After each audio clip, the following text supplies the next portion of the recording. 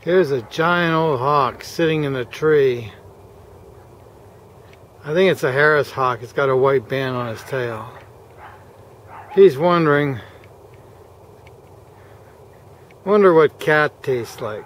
Wonder what a kitty tastes like. Wonder how, wonder if I can carry a cat.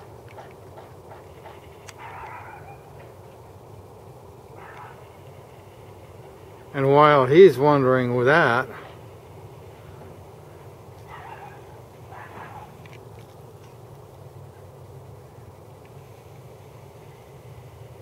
here's my little kitty Ebony. And Ebony is sitting there wondering, hmm, wonder if those hawks taste like chicken.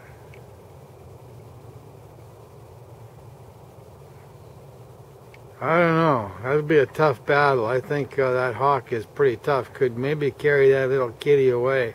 I'm going to shoo him back in the house right now. So, got to save my kitty.